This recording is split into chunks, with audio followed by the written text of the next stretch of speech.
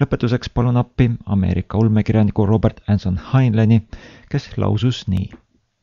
inimolevus peaks olema suuteline vahetama mähkmeid, planeerima sõjalist invasiooni, veristama siga, juhtima laeva, kirjutama sonetti, tasakaalustama bilanssi, ehitama seina, fikseerima murtud luid, lohutama surijat, võtma vastu tellimusi, andma käske, tegema koostööd, tegutsema üksi, lahendama võrrandeid, analüüsima uusi probleeme, laotama sõnnikut, programmeerima arvutit, küpsetama maitsvat einet, edukalt võitlema ning surema väärikalt.